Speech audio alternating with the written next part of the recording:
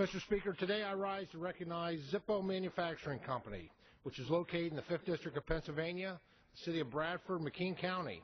Zippo employs approximately 900 people in Bradford, which is a community of approximately 8,000 people, making it the largest employer in the county. Zippo has been making lighters since 1895 and became very popular during World War II. Next month, Zippo will celebrate the production of its 500 millionth windproof pocket lighter at the company's manufacturing plant. The actual 500 millionth Zippo lighter will be classic brushed chrome with two-tone engraving and an individual serial number of one. But it's not just the number that Zippo and its employees will celebrate. It's that over the years, Zippo has developed an iconic brand.